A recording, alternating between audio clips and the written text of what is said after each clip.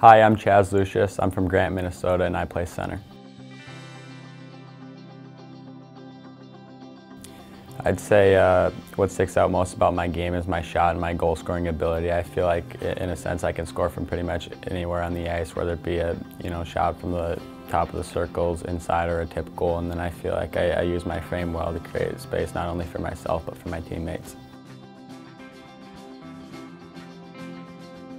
I'd say my, my player comparable uh, would probably be Mark Scheifele. I feel like there's a lot of similarities in our game in the sense that uh, he, he, shoots the puck well, he uses his frame well, uh, creates time and space for his line mates, and uh, I think he's a really good leader on and off the ice.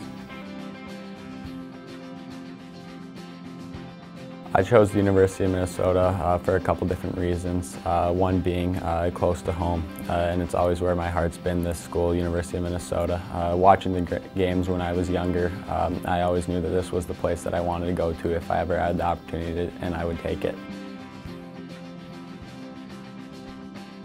There's definitely a lot of people I, I need to thank for sure. Um, first and foremost, my family for putting me in the positions that they have. Uh, my brother Cruz, he's, he's, pushed me and supported me through my hockey journey. And then uh, my parents, uh, I mean, they've given me the world and, and all the opportunities to succeed. Uh, my youth coach, Billy Hangen and Joe Jensen, uh, they, they were really influential in, in, playing a part of my hockey career and development. And then obviously when I went to the NTDP, um, you know, there's some great memories there. I made a lot of great friends and uh, the coaches and the, the resources that they have there to, to keep pushing me and, and, and keep my abilities growing is, is probably what sticks out the most. And, you know, I, I'd probably say that's, that's the biggest thank yous.